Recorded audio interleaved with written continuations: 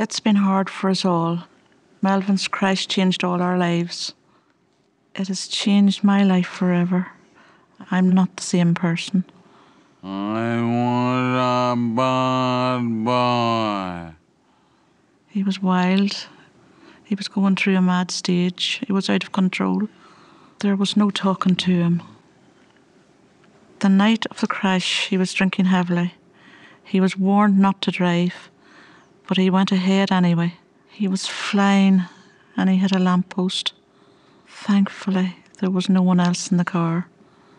People need to understand it's not just their life that crashes,